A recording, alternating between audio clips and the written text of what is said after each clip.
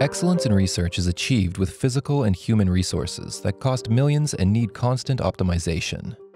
Having a comprehensive and unified system to manage these resources is therefore essential, one that aggregates extensive booking rules and automation, project and requests management, and detailed billing. But the latest system from Cirklo works well beyond these basic functionalities.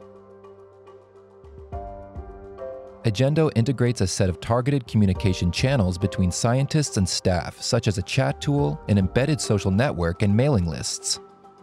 This, together with integrated reporting, issue tracking, and targeted surveys, deeply enhances the scientific and administrative workflows and lets users and staff concentrate on science.